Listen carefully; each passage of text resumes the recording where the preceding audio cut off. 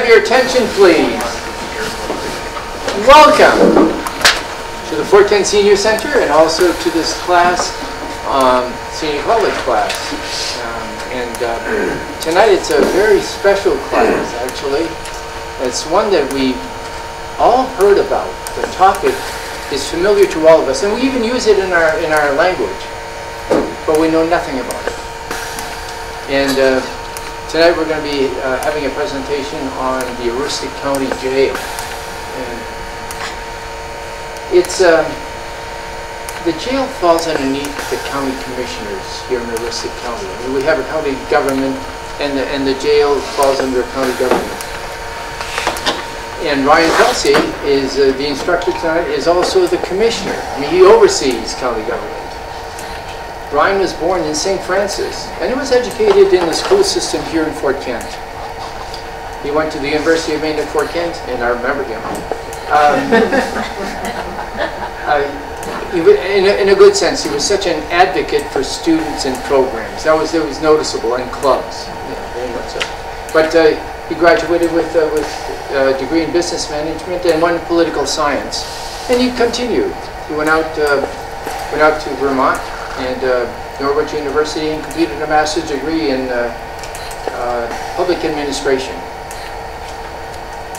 Ryan then went to work in county government, actually in municipal government, and he was a town manager in St. Agatha, in uh, Wallagrass, and uh, eventually landed in Madawaska, and was town manager in Madawaska. So he comes, uh, comes with a lot of municipal type of experience. In 2017, I think, he was elected to the, uh, not elected, he was appointed to the county, uh, to Mercer County Commissioners, and he's the chief administrator, and he oversees the jails. Ryan? Now, just one quick correction, because I have to do that to you, Don. I, uh, I work for the county commissioners. I, Oh, uh, yeah. I, uh, there's three elected county commissioners uh, up here in this area, Norm Fournier from Wallagrass, uh, Paul Underwood from Presque Isle, and Bill Dobbins from Houlton. And so they act kind of like a city council or a town council, and they hire a manager or an administrator in my case. And That's what I do, but um, I'm excited to be here tonight. I, I had done a class, was it last year or the year before? We did it on Zoom, I know that. And it was, uh, remember Liz, how long ago that was? Two years Two years. And I just did an overview on county government, so when I was asked to do something specific on the jail, I, I had never done one on just the jail, so it's gonna be, I'm gonna hopefully learn something too as we go through this. Uh, but I wanna talk a little bit about, um, our current and future needs. I wanna explain to you what the situation is right now at the, at the jail and what we'd like to see it become in the next, I'm going to be cautiously optimistic and say five years, but it's probably going to be a little longer than five years for this to actually come together. But anyway, we'll, uh, we'll get through it. So Don inserted a bunch of pictures in my PowerPoint presentation, so I just am seeing them for the first time tonight, so I'm going to have to be uh, paying attention here a little bit too. Uh, This is just a sign. In my PowerPoint presentation, there's a typo. I I put 1850s when the jail was originally built. Um, County government was, Aroostook County was formed formed in 1839. So I'm not really sure what they did until uh, until 1889 uh, with prisoners in Aroostook County, but uh, knowing the history, they probably were just kept in cells in local uh, local uh, places. I know, like in Madawaska, where I worked for a couple of years, in the basement of that town office, the, the upstairs where the superintendent's office is, used to be a municipal court. Um, in the basement, there were holding cells. So crime has changed quite a bit, um, and people incarcerated certainly have much different issues than they did in the 1800s.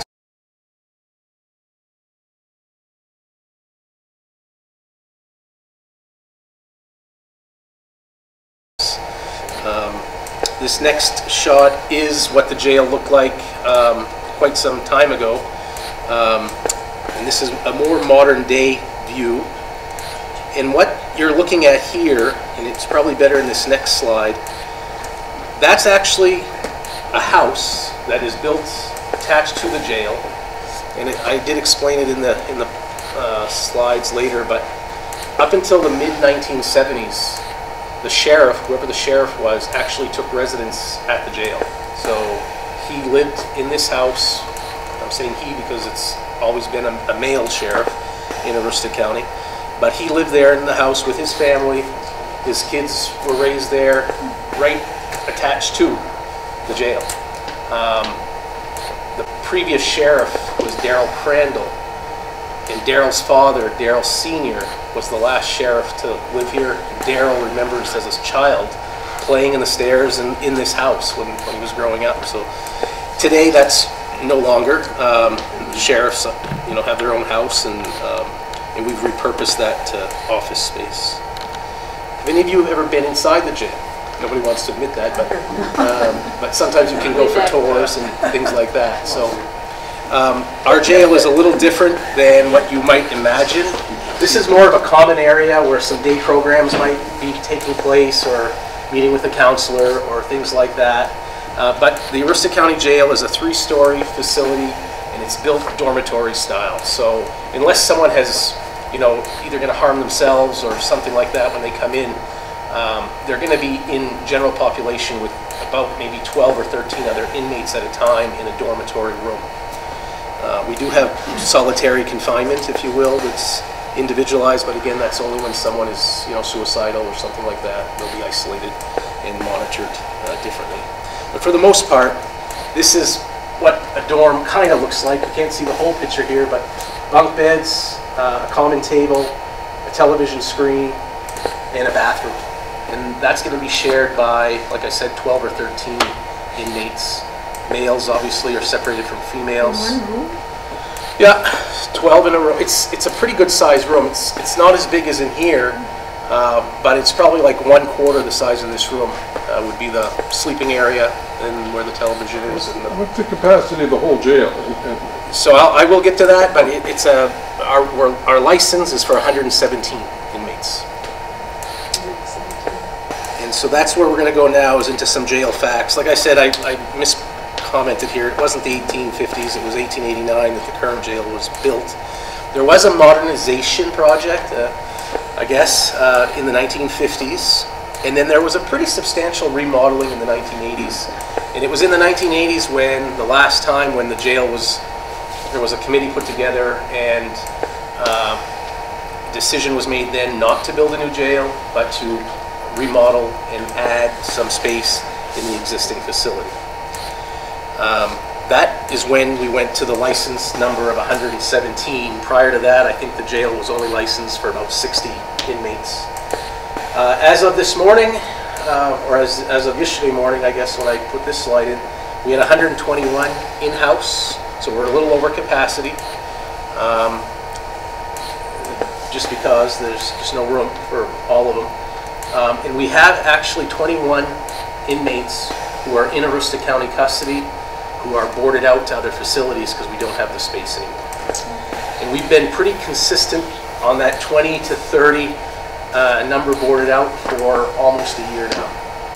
Uh, I was telling Don earlier, during COVID, it was amazing how the judges and the defense lawyers quickly came to resolution on cases and emptied the jail. We were down to about 60 uh, for that period during the pandemic. It was really nice for the guards, uh, and people had a little, you know, breathing room and more space.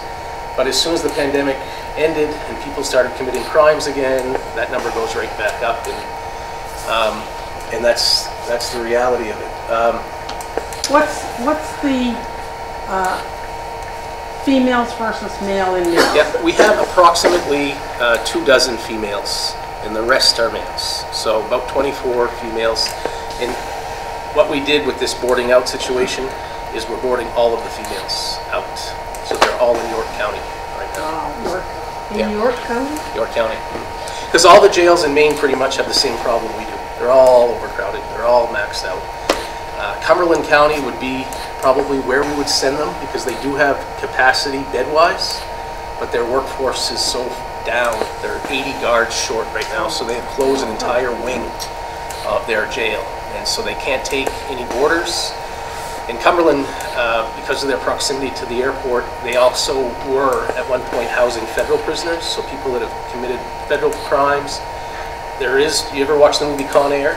Yeah, There really is a Con Air. It does fly prisoners all over the country every day.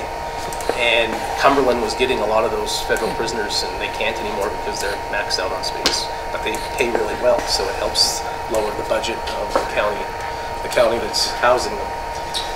Um, the other thing that a lot of people don't know is there's 147 individuals in Aroostook County walking among us that probably should be in jail.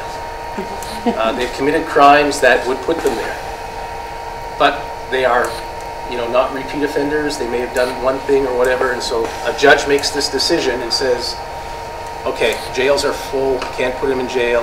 We're going to put an ankle monitor on them, um, and they're going to be under community supervision. And we have three community supervision caseworkers in Aroostook County. One right here in Fort Kent, uh, Billy Joe uh, Karen yes. Was a Levasseur. She is one of those caseworkers, and so they each monitor those 147 people. They have a caseload. They meet with them every week. They have to do drug testing every week. They have to report in every week. Uh, if they have a job, they have to make sure they're showing up to work. all Are you on things. Road? I don't know where they, No, no, I honestly don't know where they all live, to be honest with you. Uh, I know that Billy Joe, I can tell you that Billy Joe takes care of the St. John Valley to Caribou, and her caseload is about half of that 147. Is pub- public record? Oh, who it is? Is it public record, open to the public? Not who it is, no, no, no. Not that I'm, I'm not sure, Jack, I don't think so. I mean, I've never seen a list of who they are. And- And and do they have work uh, eligibility and, Yes, those people can be working, but they have to wear that ankle monitor so they know where they are at all times. The truth is, a lot of people that are incarcerated or are in a situation like that are not working. You know, they're just not. Because, Huh? because, I don't know. because people will hire them because of, No, not necessarily. They're probably addicted to drugs or have, Okay. you know, another situation. Yeah. Um, the other side of the jail that people, you know, people think jail means prisoners, but there are, there is a workforce there. Um, it's obviously a 24/7, 365-day facility. It's always open. Um, we have 42 full-time employees in the jail. That includes the jail administrator, some support staff, and the correction employees, the guards themselves. Uh, Like I said, the jail is always open. Uh, Local arresting agencies, so your local police departments, uh, the state police, and the border patrol, who have arresting uh, ability, are responsible for the transportation of those prisoners, of those inmates to the jail when they're arrested. So the sheriff's office doesn't provide a taxi service. So you're- Huh? They used to come up through, and that was a nice thing that Jim Madore did, but it was not, it's not a statutory requirement in the law. So uh, Sheriff Crandall eliminated that, that bus service, if you will. Um, And now what they do is they will come as far as Caribou one or two days a week.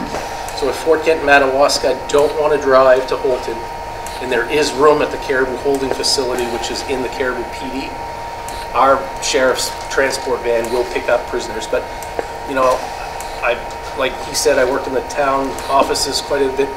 Hardly any of them ever go to Caribou because they want to just get that prisoner to jail and be done with it, because there's a lot of paperwork and processing when you go halfway and then have to be picked back up. Uh, But yeah, that bus, I think that van was coming up to the valley every day. And picking up whoever was arrested the night before. Uh, is there a time limit that you can spend in a county jail? There is, if you're sentenced. If, and I'll talk a little bit about that, but if you are a sentence, if you have gone to court and you have been convicted and you were sentenced for your crime, the county jail will not be the place for you if your sentence is more than nine months. If your sentence is more than nine months, you're going to state prison. Where? State prison, Where's that? Warren. That means you've committed a more serious crime that would fall into, you know, a different felony bracket. The jail is the most expensive part of our operation. County budget, all told, is about $15 million. Another 2 million to provide services in the unorganized territories. That's a separate budget that we're responsible for. The jail budget alone this year is 5.2 million. Um, And of that amount, the good old state of Maine contributes 1.6 million. And your local property taxes fund the rest. So when you get your tax bill from your town, they're supposed to put on there how much is municipal, how much is school, and how much is county. And county taxes, on average, is about 5 to 7% of whatever your tax bill is. And, we, we assess the municipalities, the county tax, based on their state valuation, and that's how the money is received to us. That 1.6 million uh, is actually pretty good from a statewide perspective. Statewide, the average is about 20% of the cost of jails is paid for by the state. And this is an ongoing battle between county governments in Maine and the state of Maine. Um, Norm, uh, who I mentioned earlier, is on the board of directors of the Maine County Commissioners Association, and they meet once a month as a committee, and they meet once a week as a legislative committee. Um, And the majority of their conversations are on jail funding, because it's such an expensive piece, and how you run a jail and and the mandates that come with a jail are all dictated by the state. So the feeling has always been, state wants all of these certain regulations and rules in place, they should be paying more of the share. So far, the state has won. Although I will say, in the last biennial budget, uh, there was some deal-making that went on, um, and the governor's budget did include an extra $2 million. Doesn't sound like a lot, but it gave our county anyway, you know, a few hundred thousand dollars more towards the budget than we had received in prior years. So we're happy about that, but it was a one-time thing, and the fight continues to try to keep the funding going. Um, Our costs, so when you take what it costs to incarcerate an individual in Aroostook County, it's about $36,000 is what it costs. Um, And that's a little bit higher, as you can see, than the national average of 33,000. Because it's cold up here? That does play a part in it, I won't lie. I mean, our budget last year for heating fuel was through the roof like everybody else's. Um, And we saw some, some pretty crazy, crazy budgets uh, for that. There are other driving costs. Um, Actually, I think I got the next slide that says that. Obviously, the personnel is, is the biggest cost. We have about $3.4 million in wages, benefits, and overtime to fund those 40-some positions in the jail. Um, one thing a lot of people don't realize is when you become incarcerated, even if you have health insurance, most health insurance policies will not pay when you're in jail.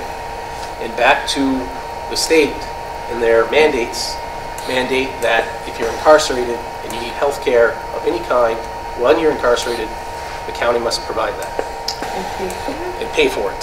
So, if, you know, we were for a long time contracting with Katahdin, um, Katahdin Valley Health Center out of Patten that has offices in Houlton.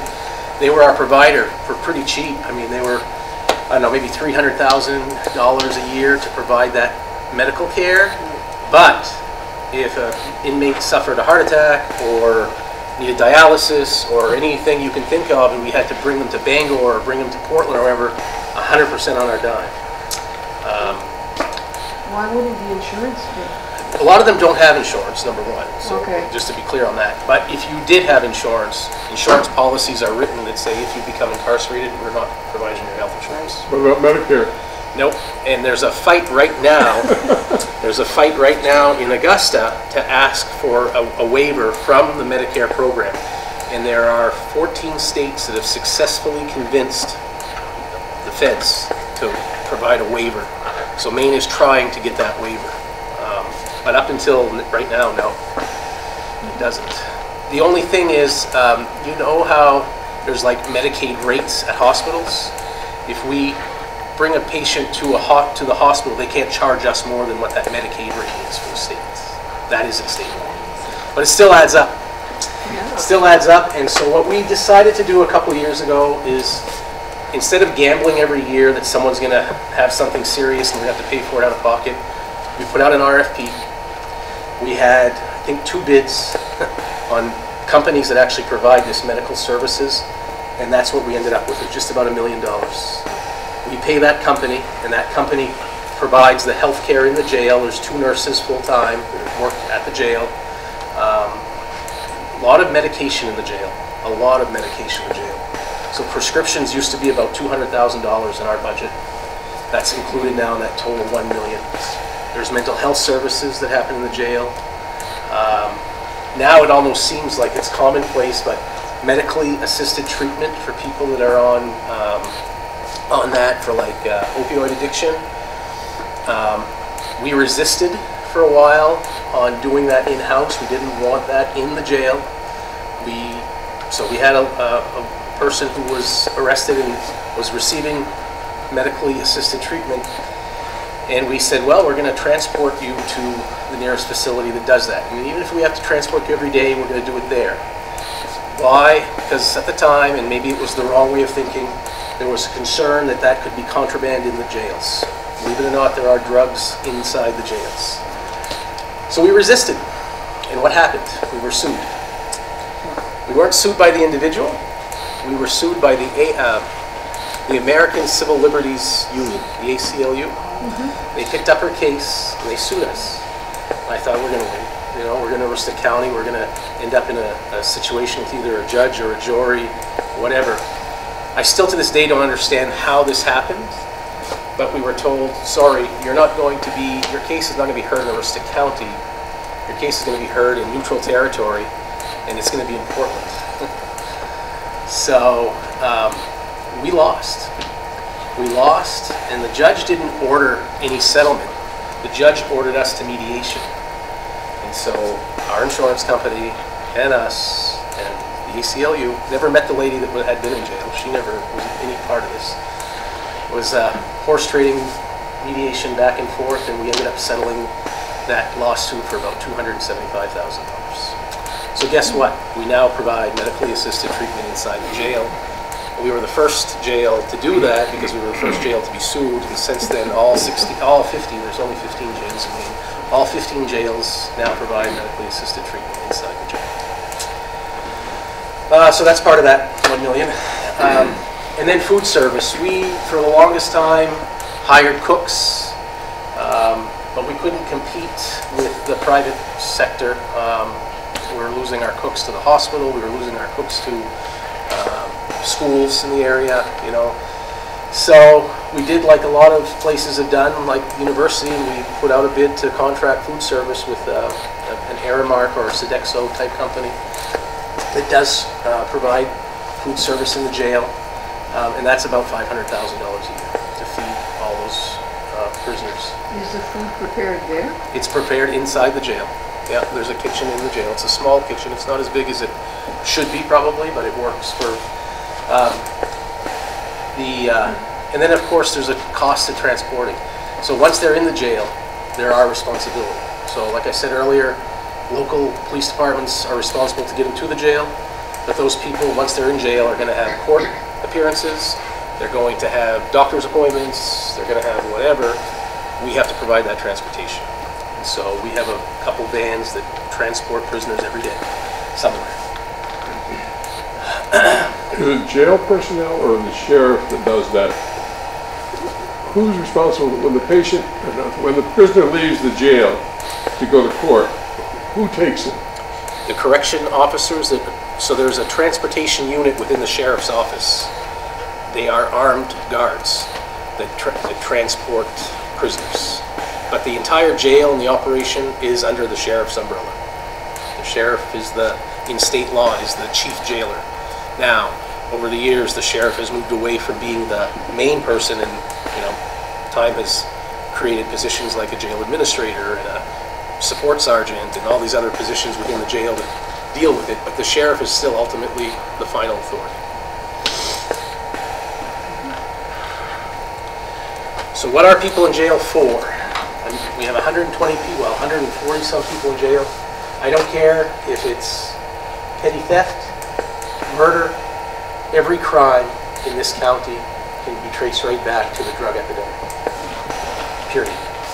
That's just, uh, the last thing I put on here, you know, used to think of the Houlton Hilton is what they called it, right? And there was a lot of OUIs, and people would stay in jail for 48 hours or 72 hours.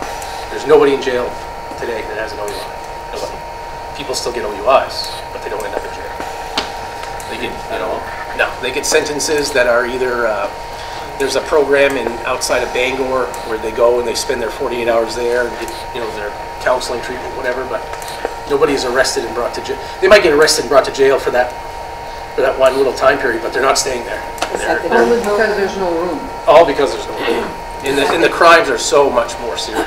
Just- Ryan, is that the deep, At the deep course. is the Yep. deep. Yep. What did you say? the deep program? It's called the deep course, oh. and that's, they, they go for that, Right. Whatever their sentence was, I think it's 48 or 72 hours. They actually live right in that facility outside of Bangor. Uh, And the offenses, people in jail, you know, it's a full range, a lot of domestic violence, a lot of domestic violence. Um, pro- uh, Probation violations, uh, and that's usually, they were out on probation, you know, they were, they they were on drugs, they got clean in jail, they went out on probation, and they fell off the wagon, caught again, or they didn't pass their drug test or whatever, so they're back in jail because of that. And then property theft. There's a lot of, a lot of stealing going on in Aroostook County, but I say it all again goes back to drugs. They're stealing to sell, to have money to buy drugs.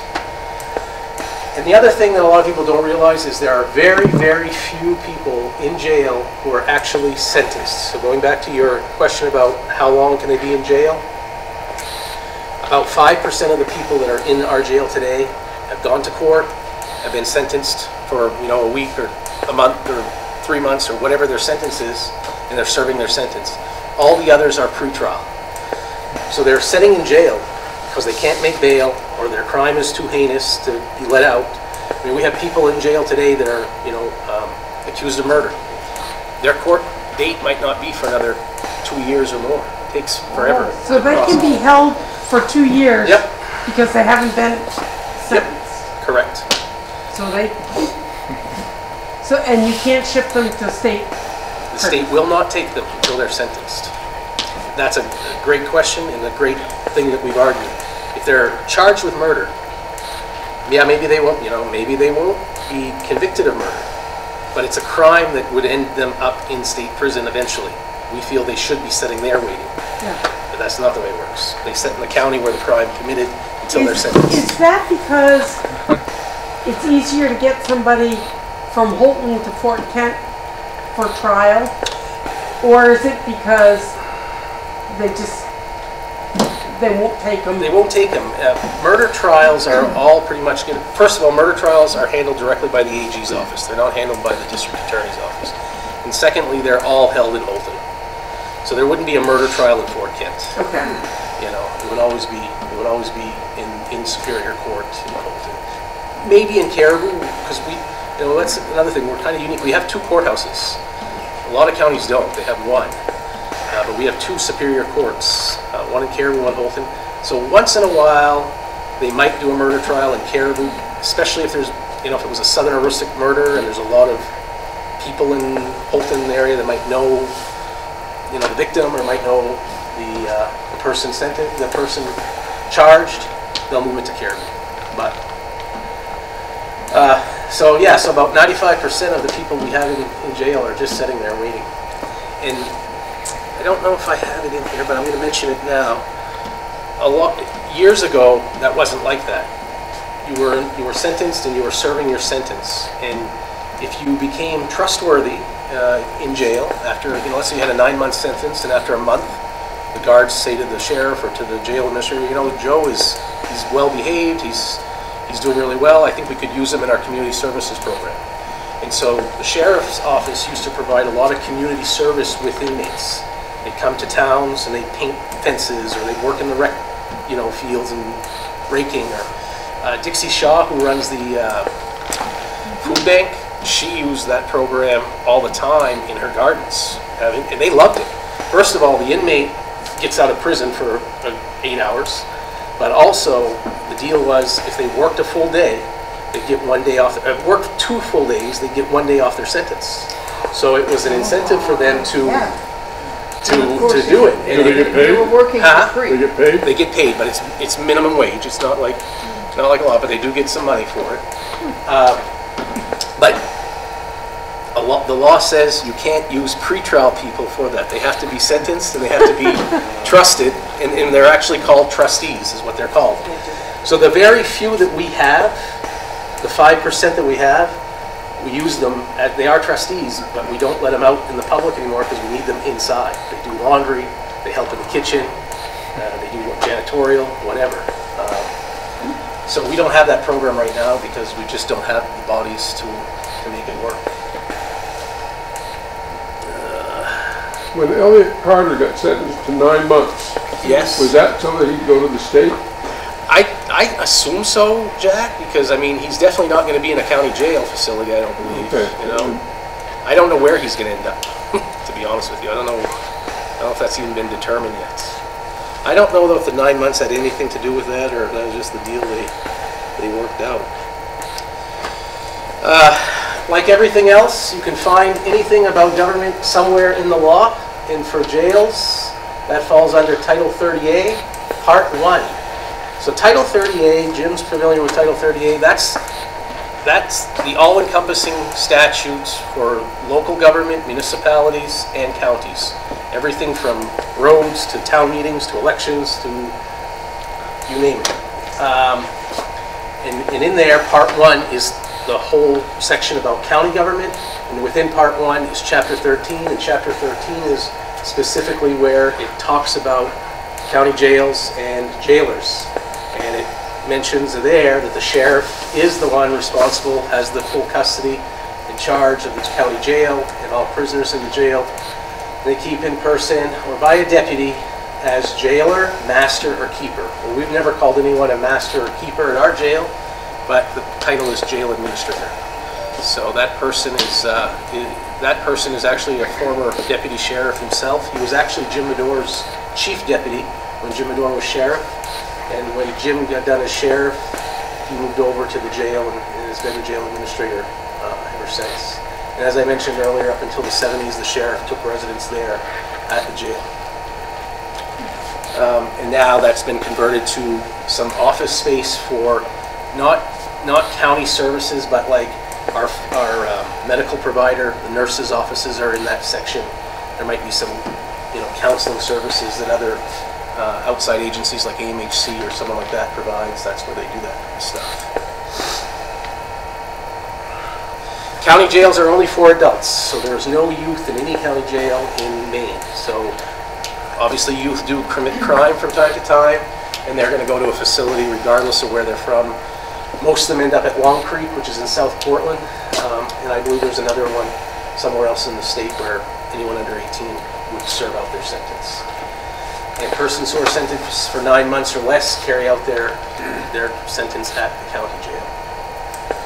Um, And if they're longer than nine months, they do end up in Warren. So take, for example, last year, there was a murder trial. That person had been in jail at- at the county for, I'm going to say, two and a half years. Finally went to trial, was convicted uh, and sentenced. And we immediately, the minute, I mean, the minute that gavel comes down, that person, I don't care what time of day it is, that person's going to be escorted out to our van, and our van is going to drive them directly to Warren. It's at 10 o'clock at night, that's where they're going. They're not coming back to, to the county jail.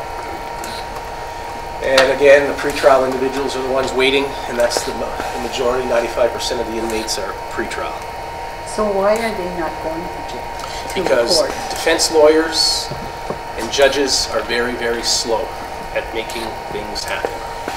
And they're going to tell you that there aren't enough judges, Right. and they're going to tell you there aren't enough lawyers. Mm-hmm. And so you heard about this new program that's started at UMFK to mm-hmm. educate more attorneys. That is all because of the overcrowding in county jails, not just our jail, all over.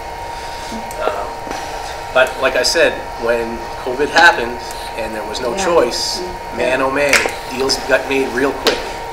And we went from 115 at that time down to 60 in almost a matter of weeks.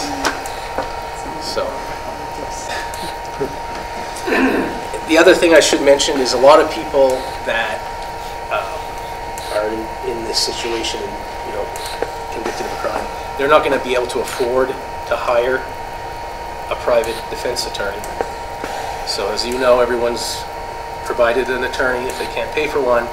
And I think we have, I mean, Toby here in town will pick up a few cases when he has time. uh, it's called indigent services, and there's a rate, you know, a a defense attorney is going to charge maybe 120 bucks an hour normally in Aroostook County. I think the indigent rate is like 65 bucks an hour. So not many lawyers are signing up for that. We have one attorney in Aroostook County who exclusively does just that service. So he's one person, you know. And, uh, so there's talk now in the legislature to try to increase that compensation, to try to make it more, um, you know, advantageous for private attorneys to take on more cases. Um, Like I mentioned earlier, the law does not allow pretrial inmates to be used for our community services pro- uh, program, so we can't do that anymore outside. Um, And another funny little fact in the law, and uh, this goes back to, a lot of county government is, uh, you know, very antiquated. Um, Counties were formed, you know, and think of the sheriff in Nottingham and Robin Hood, that was county, county-style government. And so a lot of that has been carried over, and this little quirk in the law is not only do we have to provide food to the inmates when they're in jail, but we have to provide a meal to the guards working in the jail, if they so want it. None of them do. None of them take it. But that was a law that was put in place because back during the Depression, the story goes that guards were stealing food from the inmates to feed themselves. So law was passed. So they get fed, the guards get fed even if they don't, the guards get fed at no cost to them. They have the option to eat what the prisoners eat if they want to, for- at no Is it cost. that bad? Doesn't sound too good. Nobody, nobody, I, I, it's, it- honestly, it's powdered milk is the, is the liquid that they're given. Uh, it's, it's not a healthy diet by any stretch of the, I mean, it meets all the dietary guidelines, but it's not, it's, I think they're making meals for like two dollars and something total. So the food is not, They can't send out for pizza. they can't send out for pizza. They do, this company that we work with does what they call spirit lifters, and that was the first time I'd ever heard that term What is it called? spirit lifters. And so about six times a year, they prepare a nice meal, like Thanksgiving dinner, or, you know, they- you know, they'll do, or they'll do like in July 4th, they'll do an outside barbecue, hamburgers and hot dogs and things like that. So they do, do, you know, six of those, but other than that, it's mostly a liquefied diet, you know, dehydrated, add water and go from there. So, needless to say, the correction officers aren't too, uh, aren't too keen on getting that free They don't that, that free lunch, no, they don't go for it. Uh, This next slide, I think, is going to surprise some people because a lot of people don't know that there is a business component to running a jail. And this has really changed over time. I mean, I'm sure prior to the internet, um, I would imagine commissary services were, you know, shaving cream and maybe soap, I don't know. Um, But with the advent of the internet and t- you know, television, cable television, all these other things, phone service even, uh, inmates have money. Some of them have money before they are arrested, and they have a savings account somewhere, or they have family that provides them funding. But anything they want, they have to pay for. So uh, this company that has the contract provides every inmate that wants one an iPad, and they have to pay for that. They have to pay for the iPad, they have to pay for the internet service, they have to- and so um, the funds that are collected from those inmates to have that privilege is retained by the county in what's called the inmate benefit account. And we can only, we can't use that money, we can't use the inmate benefit account to directly reduce taxes. It has to go back to the benefit of the inmate. Well, that's a pretty broad thing, right? So inmates benefit from us transporting them to doctor's appointments. So we'll use some of the inmate benefit monies to buy new vans when they have to be replaced. Um, If we have to replace some security cameras, the security cameras are there for the inmates' benefit, so we pay for that out of that fund. Um, We have a rec, recreation yard outside, so if we put a new piece of equipment, you know, weights or whatever, we use the money to buy that. Um, So that's thousands and thousands of dollars are generated each year on inmates buying product, buying services. They are restricted, obviously, on what websites they can go on, Uh, but, uh, but they do. And the other thing is, uh, back to the dorm style, every dorm has a flat screen TV. And every inmate is provided headphones. So if they don't want to watch TV and they don't want to listen to TV, they can, you know, they don't have to have the headphones. The headphones are actually there for people that want to watch the TV. And so I, I remember going for a tour one time with the sheriff and he was explaining that to me and I, I said, yeah, but what if they don't, who decides what show to watch? He said, the biggest guy inside the room decides the show. So that's the history, the, the old jail, the, you know, the situation we're in now. Uh, so where are we going in the future? Are cell phones allowed? No. No. No. If they want to make a call, they have to make a call on. And you probably, you might have read in the paper, um, we were actually, we got our hands slapped for that. Um, you can record inmate phone calls.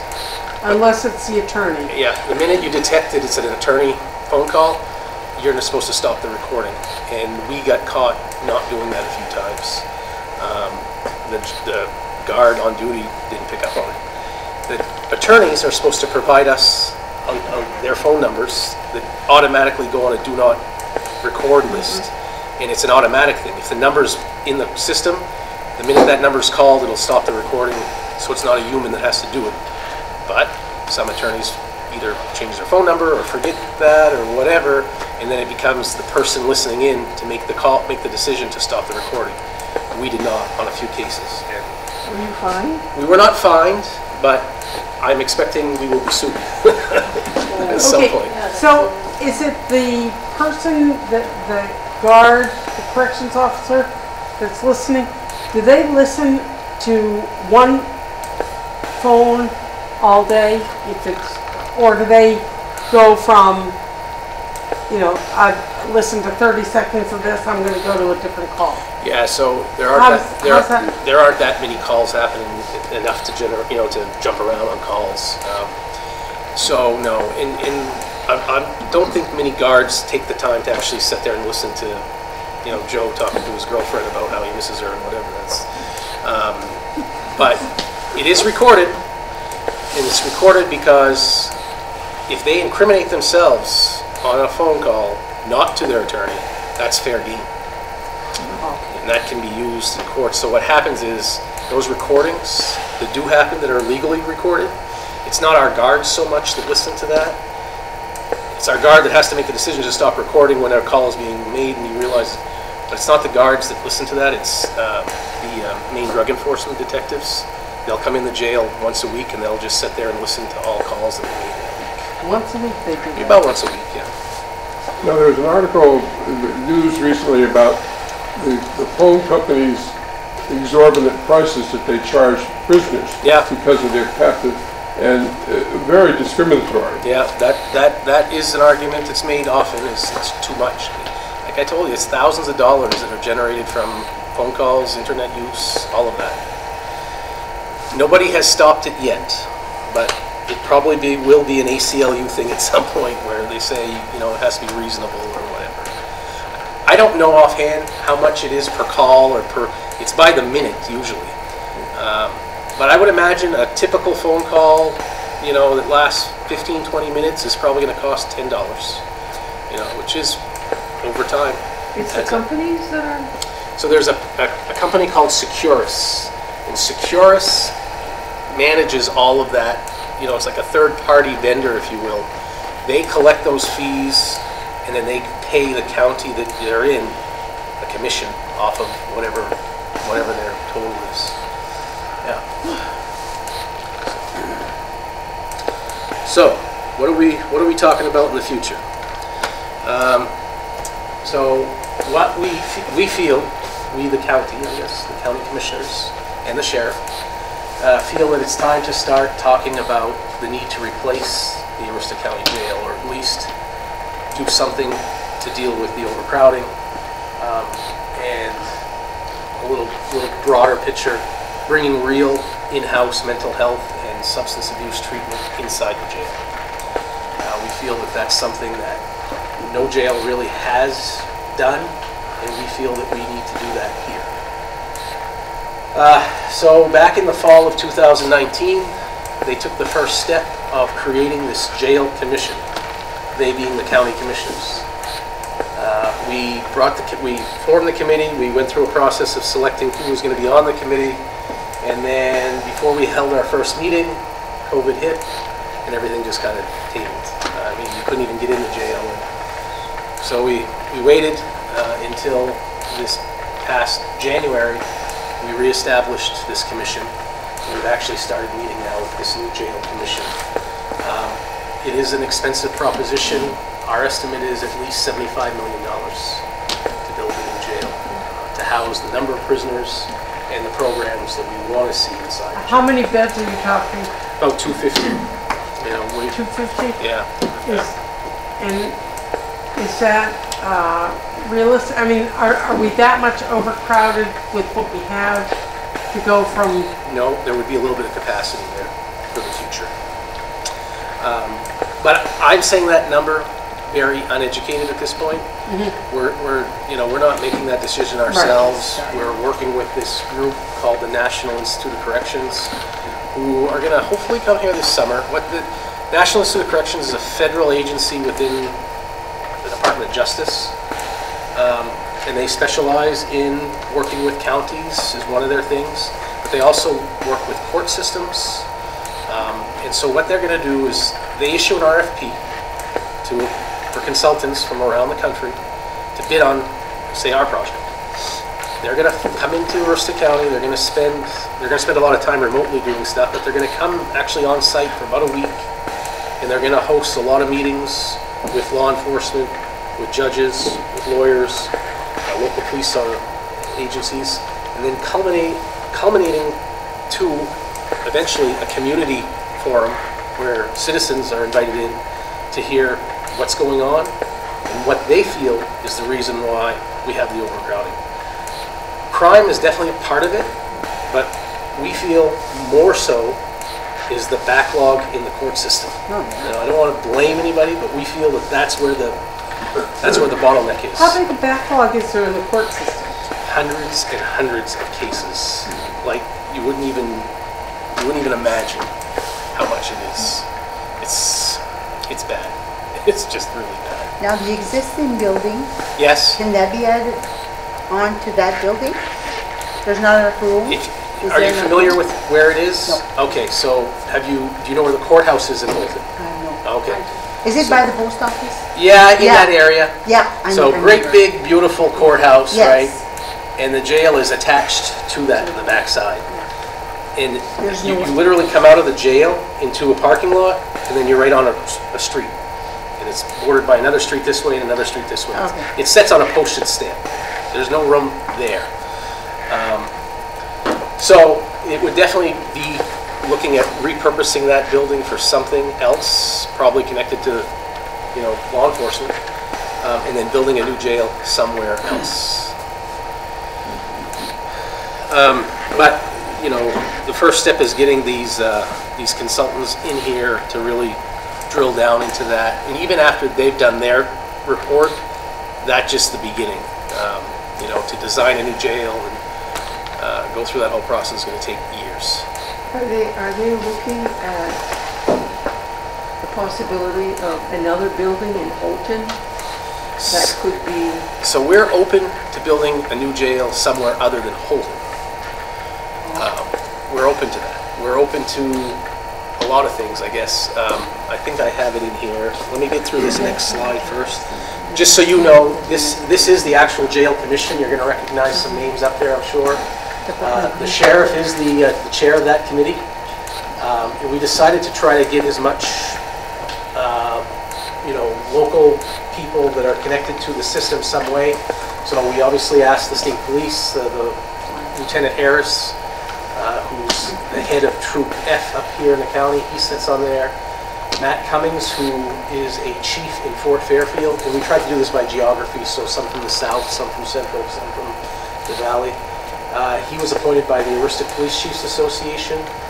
Janet Bradbury, she's the town manager of Blaine. She represents, or she's there for the Aroostook Municipal Association. Kevin Freeman is a city councilor in Presque Isle. He serves as a local elected official. Carol Terrio from Fort Kent, obviously retired police chief, um, also a local elected official. Kai Libby's a retired Border Patrol agent from Cary Plantation, and he's also a member of the County Finance Committee. Uh, Don Guimond, the town, former town manager here, uh, serves as the citizen at large on this committee. And then we have one county commissioner, and that's Norm, who serves on the committee. And so the idea is, other than Don, who doesn't really report to any group, these, all these other people update their, you know, their constituencies when they have meetings. So Matt will go back to the police chiefs and explain what's going on. And the idea is to try to build momentum, build support. And then we have three primary members of the staff that are going to staff this, myself, Dana Gendro, who's our finance director, and then Brian Gendro, who lives here in Fort Kent. Uh, He's the director of facilities and IT. And he, him, Brian and his staff are really the ones responsible for all of the maintenance, all of the updates and upgrades that happen at the existing jail now. All the buildings, the registry of deeds building here, but all county buildings fall under uh, their direction. The jail itself does not provide any of the maintenance that happens inside the jail. It's his department. Ryan, my, my question Okay. was, is there another building in Houlton, An existing building? an existing building that they could... I'm not aware. there's so many vacant, Yeah, not, the standards of building a new, I mean, think about like when we were looking at a regional school, right? Yeah. The, the, the regional school is gonna cost a hundred million dollars. I mean, it, it's very similar. You're, you're just housing a different population in a school. But, you know, security, all these things. You could not build the jail we have today by the regulations you gotta follow today. Uh, The reason we have so many guards is because the rules say you need to have a ratio of so many guards to the number of prisoners in your facility. Because one guard needs to have eyes on at least, I think it's eight prisoners or whatever it is. Um, So these new jails that are built are not built on top of each other. They're built on a plane. Kind of like, well, Somerset County is the newest jail that was built in Maine, and it's probably 15 years old now. And so you walk in, and eventually you get to an area where there's a guard stationed, and then what that guard is looking at are pods that hold inmates. So that one guard sitting there in the middle can see so many inmates at a time.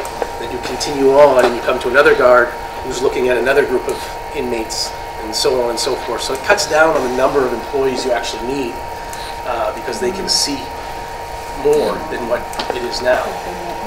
Fixing an old building probably costs as much. Fixing a building, yeah. Probably costs as much, Yeah, I- not as efficient. Right.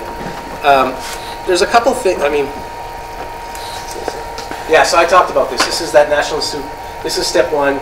They're gonna come here this summer, meet with our staff, meet with the court system, law enforcement, um, and then a public meeting that, where all this will be presented to the public.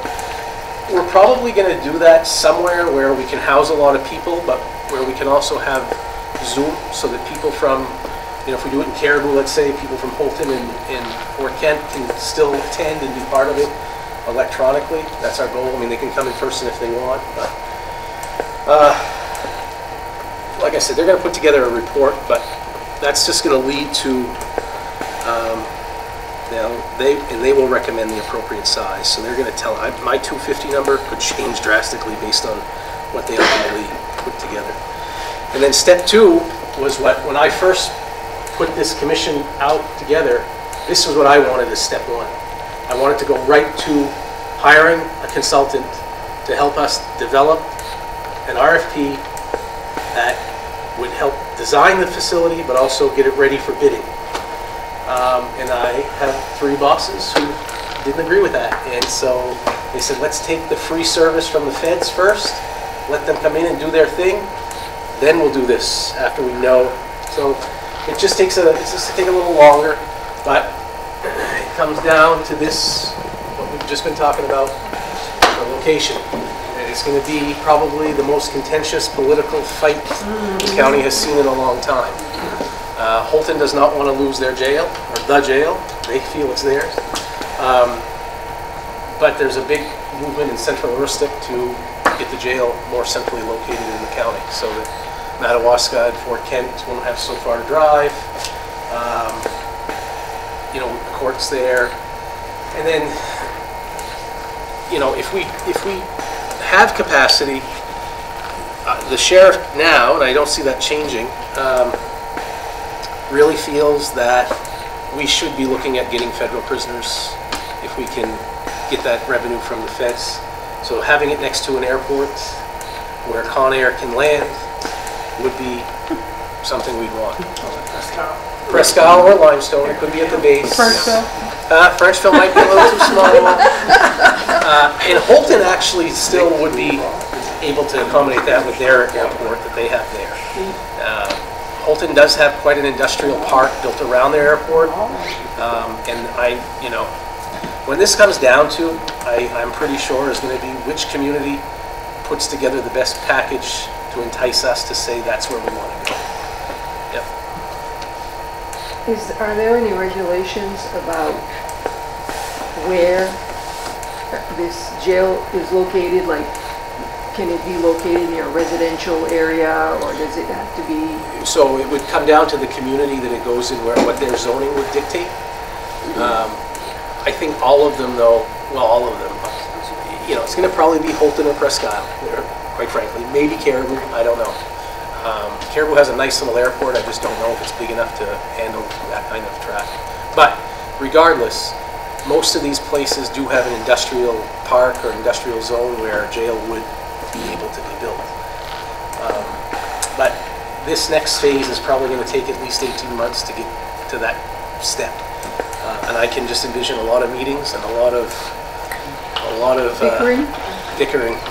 Um, You know, the other element to this is you do have to think, you know, where it is now, the majority of our workforce lives right there. Uh, We do have, you know, I was telling Don before I started, that the, we do have some people from the valley that work at the jail. They travel to Houlton for their three days or four days that they're on a shift. We have two from Millinocket that carpool up and work there, so, you know, if we moved it to Presque Isle, would we lose all of them? No, but we'd probably lose some. But at the same time, we feel if we build this right, we're, we're gonna be able to reduce the number of uh, employees that we will need in the jail for the number of inmates we have today. Um, The the only, yep, Does the state plan on putting money in? Because the state has closed, you know, one of the child facilities, they've closed the one over by Machias. uh, You know, and they, they encourage schools to combine. What about counties combining? Yeah.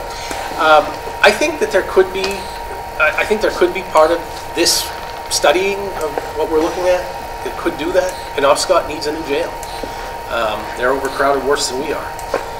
Um, Now, I would make the argument at that point, if they were going to combine with Penobscot, Houlton becomes equal distant from Fort Kent to Bangor.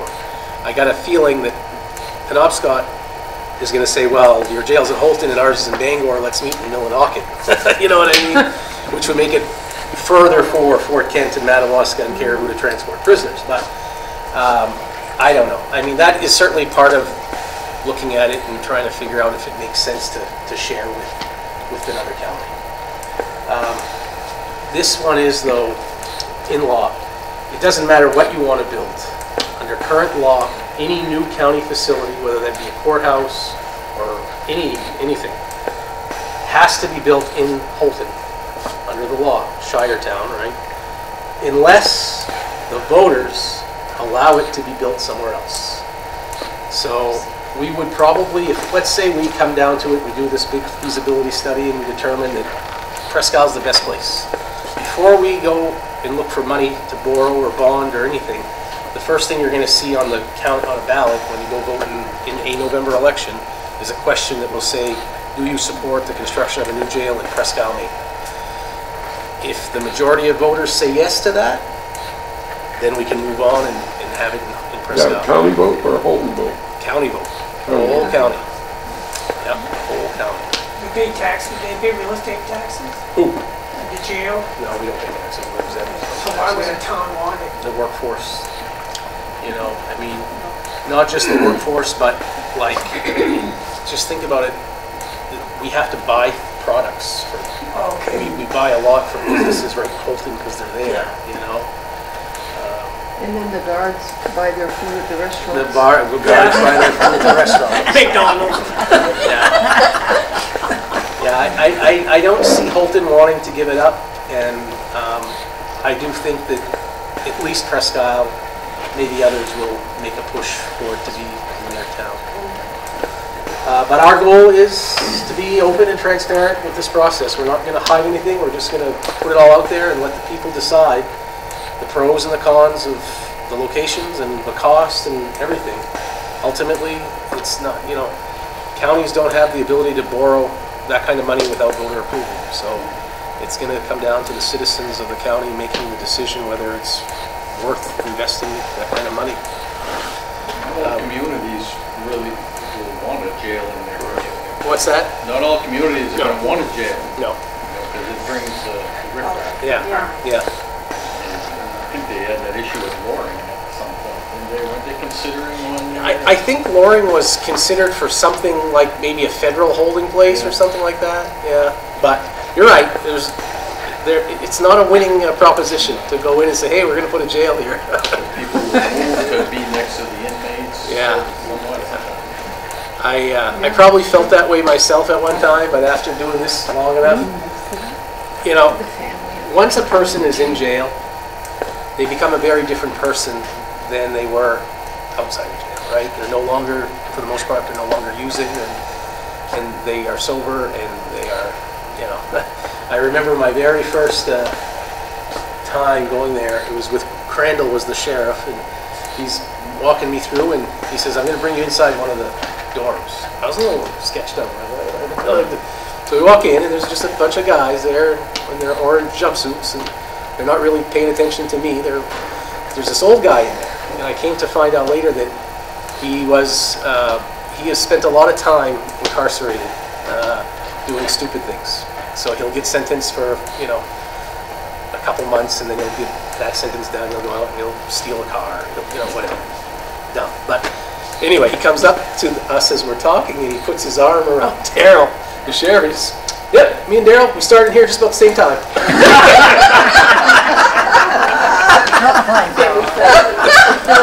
Darrell says, yeah, that's true. I've been chasing your pot plants for 30 years. Yep, uh, the story was that what they told me afterwards was for a while, Darrell had had this idea of uh, putting a garden outside so the inmates would grow vegetables. Um, That worked pretty good until one of them got some, some marijuana plants and marijuana plants, there's marijuana plants growing in this garden outside the jail. We don't have a garden anymore. I think today, now that it's all legal, I And guess now it would they, yeah, now. probably be okay, but that was before, that was before. Uh, Some of the requirements that we are going to need to look at is obviously the acreage. We're going to need a facility big enough, uh, an area big enough to handle that kind of uh, facility. We're going to want some basic municipal services like town water and sewer. And like I mentioned, maybe not right at an airport, but close to an airport so that the transportation thing isn't too bad if we do go into that federal prisoner program. Um, And while it's not required, a central location would be considered, but it will depend on other factors such as a regional jail authority, like sharing with another county. There is one, well, there's one jail, two counties that share a jail. That's why we only have 15 jails in Maine. Uh, Sagadahoc and Lincoln created a a jail authority, and that jail authority built Two Bridges Jail, which is a fairly newer facility also, um, and they share proximity between Knox and Lincoln is a little different than Aroostook and. uh, Do they need to be sprinkled? Yeah, new, new facility. code Oh, is- yeah, yeah. Any, any public building today. Nowadays, I- Yeah, yeah. Um, So this is probably another thing that's probably going to be uh, controversial for some, uh, but it certainly isn't to me and to the sheriff. Uh, We both feel real strong about this. Obviously, it'll come down to the cost of adding this into the jail. It might, it might be that what breaks it. But what we'd really like to see is a mental health and an opioid uh, clinic, wings, if you will, inside or at the jail facility. So before that inmate is released back out into the public, they they are required to go through treatment of whatever they have. Um, That happens, it's supposed to happen today where, once they get released, they're supposed to go to an opioid thing, but let's face it, a lot of them slip back uh, because they're not, they're not getting away from what, what it was that was causing their situation to begin with. They'd get back with their same friends or, And it's not, it's not that easy when you get out of jail to find a place like that. right, right? There's very few places like that. Yeah. Now, Don, a lot of the ones that you're seeing now are being really started and supported by recovered addicts who are pooling their resources and building these sober houses and whatever with very little government support. So we want, we, we feel it would make sense to have it inside the jail. If, if, if that doesn't change, then you might as well ask for a three hundred. Right? You know, it's just gonna get worse. Yeah. Um, This is getting off the jail a little bit, but I just want to highlight it. I don't know if you saw in the paper, there was an article that came out about, uh, we are participating in this national opioid settlement. Um, We're, we, I think we have like seven agreements now signed up. Maine, Maine entered a class action lawsuit like they sometimes do, like when the tobacco settlement fund with, I don't know, 34 other states. Uh, it's- And and now these funds are coming into Maine, and they chose counties as the place to receive the, the the funds for that portion of it. The state's going to receive a lot more than the counties will. Uh, But our little county, over the next 15 years, is going to be receiving about $2.5 million from that settlement. We've already A started. year? Huh? A year? No, total. Oh, total, oh. Total. So we've already received, I think about, I think about 380,000. Um, We're supposed to get another infusion in July, and then some of them are multi-year agreements, like 15 years or seven years or 10 years or whatever. But over the entire course of that, it's about two and a half million. We haven't started um, spending any of that money. We're basically kept it segregated from our county funds, and we're waiting to see what the state puts out with their funds. So they've created a Maine opioid task force that's headed up by the Attorney General's office, and they've started meeting themselves. And I anticipate what they're going to do is come up with a plan that will ask the counties to be part of that some way, somehow. Um, So, and like I said, medical assisted treatment is now offered in every county jail uh, with the support of the Maine office of opioid response. So in addition to the money that we receive to operate the jail, this isn't guaranteed forever, but for right now, the state is providing each jail about $75,000 a year to provide that medical assisted treatment in the jail, to buy the Suboxone or whatever, but also uh, to offset some of the costs of administering it through the jail contract, the medical contract. If you want to read up on any of this stuff, that's the website right there. Uh, Just, you can Google Maine Attorney General opioids and it'll probably bring you right there. But there's a whole dedicated website on the Attorney General's office that talks about the treatment, uh, the the, um, the opioid settlement in the entire state. If you're, if you've been found not guilty for uh, a crime because of you're insane or whatever, uh, unable to be convicted, you, then you get sent to Augusta as opposed to the Fed? Um, so, I don't know if we've ever had that kind of situation in Aroostook County where they're, they're found to be like insane, is what you're saying. They would be probably sentenced to Riverview, which is the psychiatric uh, Augusta. in Augusta. Um, I can tell you, our experience with a situation was, we had someone who committed a crime, I can't remember what the crime was, they're in Houlton, and clearly they have a mental health disorder that we're not capable of handling. Uh, Very suicidal, um, very, just insane. And so, we could not get them into Riverview because of lack of bed space. So, we had to wait, I want to say six weeks before we could get them in. That entire six weeks period, that one individual was, for the most part of the day, in a straitjacket. And for the most part, uh, for 24 hours a day, was under constant watch by a guard. So we racked up about, I want to say like $40,000 in that six-week period just in overtime costs. Until we finally got, we did get a doctor to finally come up to Houlton from Riverview, who, you know, did his analysis and said, yep, this guy's crazy, it needs to be in Riverview. But we don't have a place for him. So I had to wait for a bed to open up to get him in. So that's been our experience with that type of situation. It doesn't happen often, but when it does happen, it's, So uh, until they, they uh, find a solution for people with mental health issues and drug addiction, the crime is just gonna keep I think so. going up. I don't see, it- I don't see it slowing down, for sure. And now they're Where starting to uh, legalize drugs. Yeah. And, I mean, they say it's good revenue, taxes, whatever there. But then when the towns start running out, or whoever's collecting that, The runs state. out with, the state runs out of, still doesn't have enough, what's gonna be legalized next? Yeah, you're right. There's definitely going to be more Okay, movement for that. Uh, There's already some states that start legalizing, I never say this word right, but it's basically modern day LSD is what it is. Yeah, psycho, what's it? It's like, yeah. Psych, uh, Psychotropic?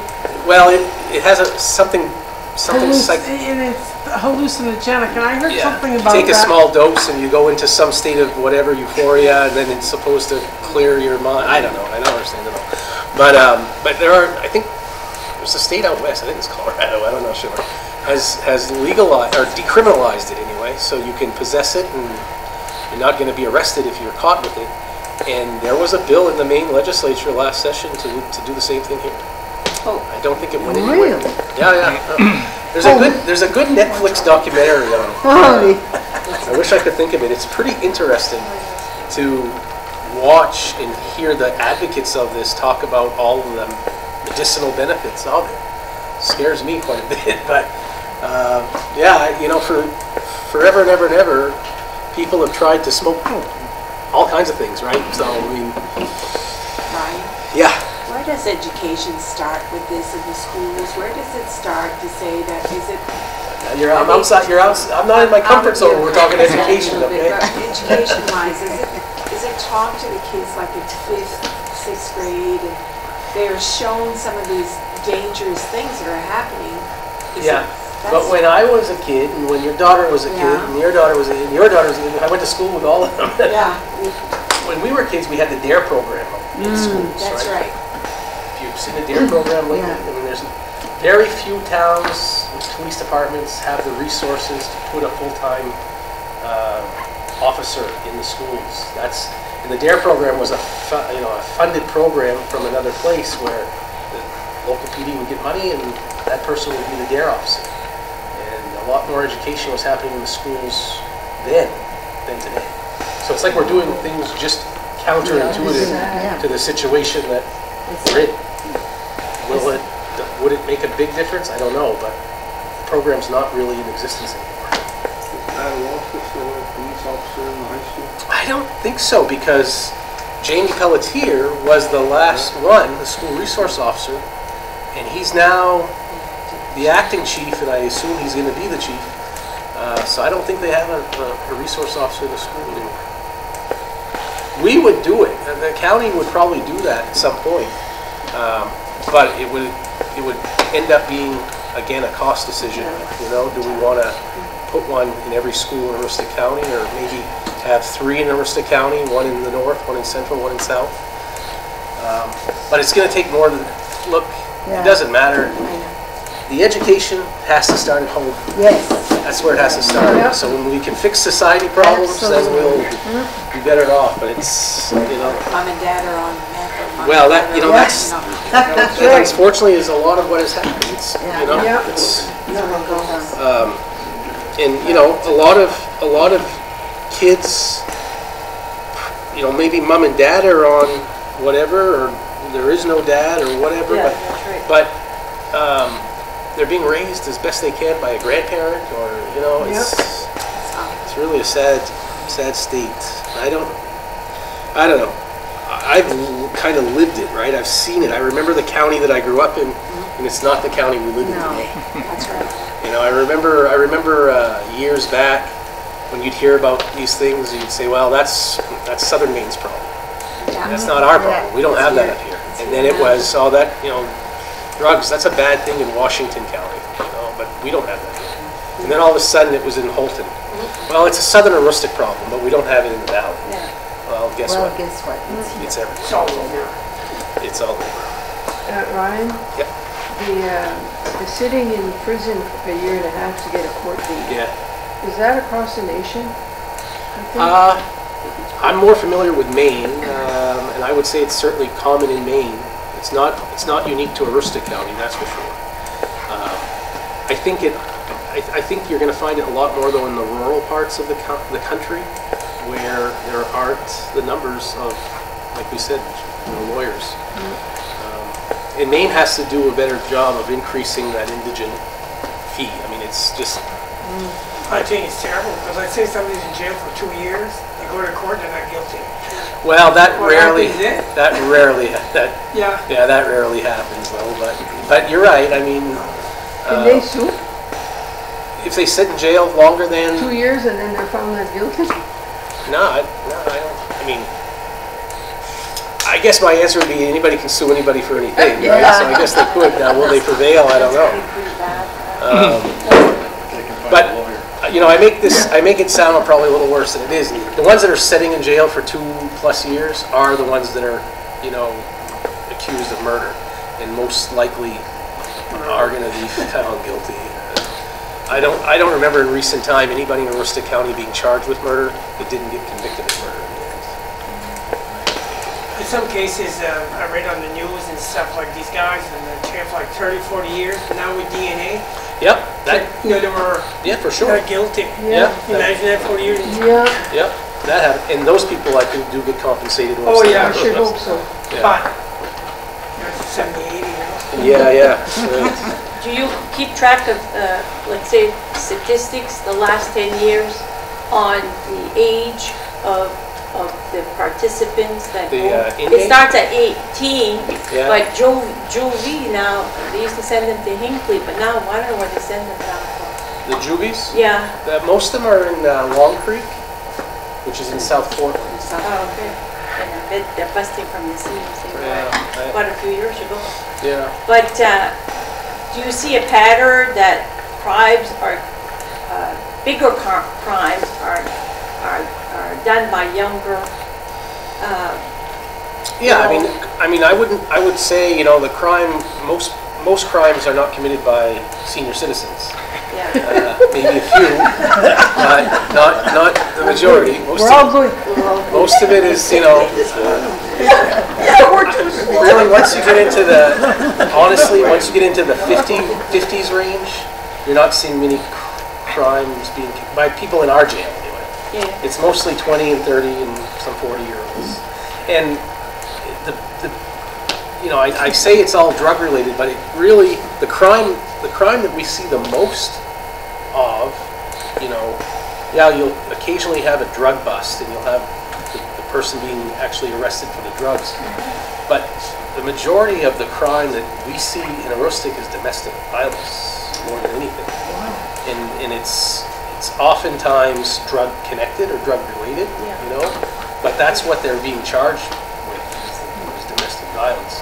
Not always like, you know, the typical boyfriend, husband, whatever, beats the wife type thing, but just threatening, you know? Just in my town where I live in St. Agatha yesterday, st- sheriff's office, sheriff's deputies fly through and That's why I was funny, that's. people are, you know, on Facebook asking what's going on and nobody knows where they're going, whatever. Well, come to find out, it was a guy with a gun who was threatening his girlfriend and there was a five-year-old in the house and he got, he did get arrested, they arrested him, they caught him and arrested him. He didn't hurt her, but he had a gun threatening to do something if she didn't do what he wanted her to do or whatever. So yeah, that, that's, that's the biggest one. Ryan, coming back to the senior citizens, uh, the, uh, We don't have a senior citizen discount at the jail. I- I- the only Special one, the, o- the only one in this room that could probably run away from the cops would be Don Odebear.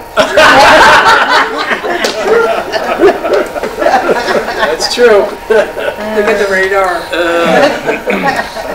Um, I'll, I'll answer any questions you have, but I, just in closing, I, I do want to kind of ask you all to think about, can, being an advocate for a new jail when it does come time. Um, There is going to be, uh, there is going to be a lot of uh, pressure, I think, uh, at that time, and it would be good to have as many people on our side as possible.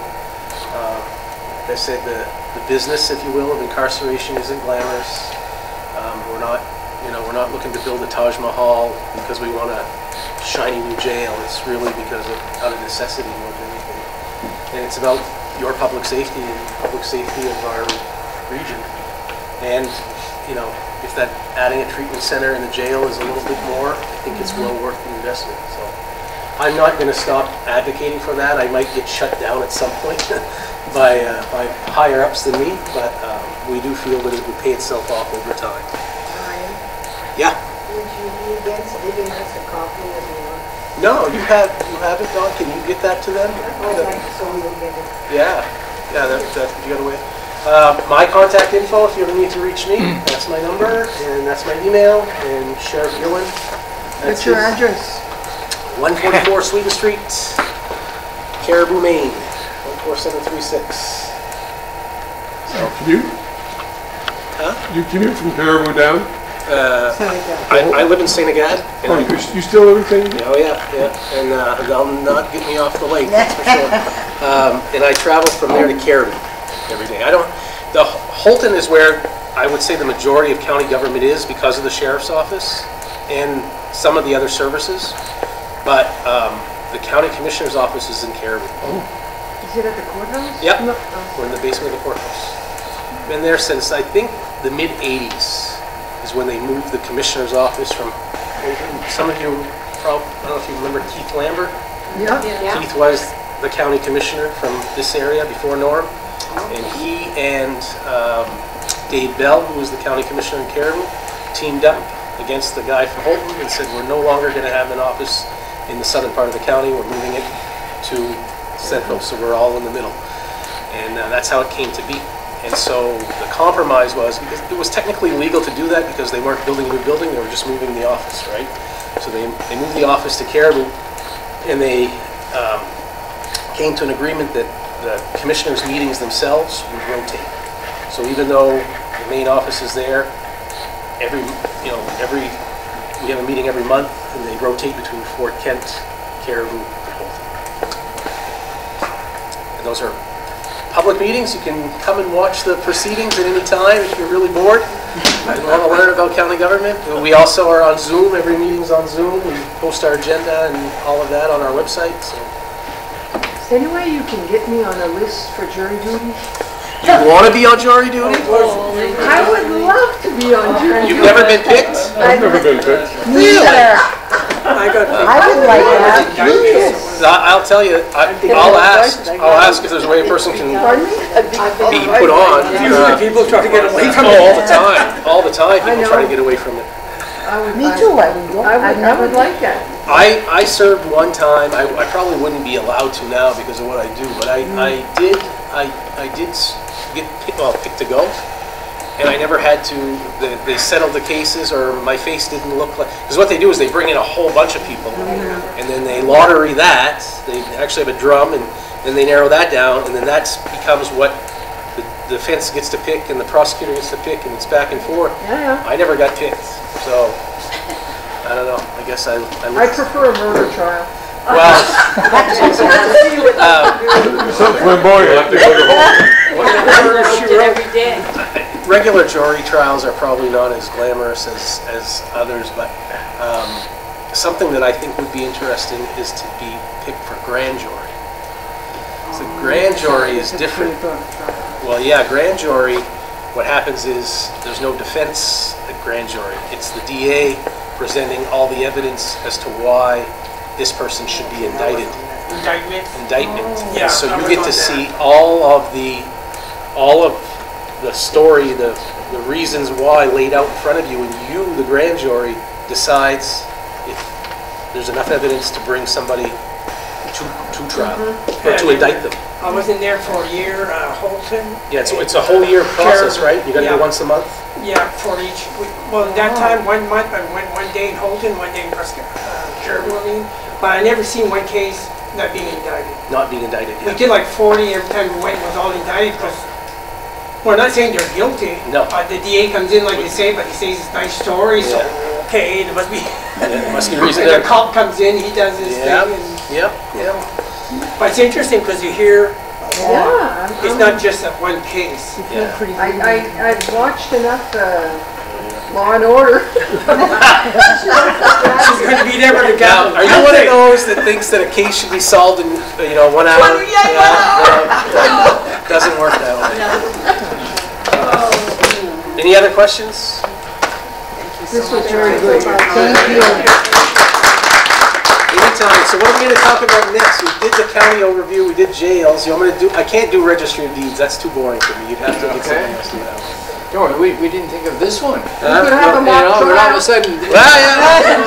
came up with, uh, More Really. Brian, thank you, thank you for this class. Yeah, that's Um, great, Yes. I enjoyed it. You know, I enjoyed it, and, and I should probably say that there's, there are now two more classes, uh, senior college classes coming up. One is in June, uh, and then Taxpayers Advocate Services. And then the next one comes out in August. And, uh, and it's, at- it's in the middle of August, so, uh, and that's the, uh, Micmac, um, I'll never get the word right. When I go to, when I. Say it in English. That's it. Okay. Get fed up. we want- But it's kind of a powwow type of thing, and uh, anyway. um, But I, I think tonight certainly, uh, I think all of us, I think, were really uh, uh, made aware, I think, of, of, you know, really, the, the, what is a jail?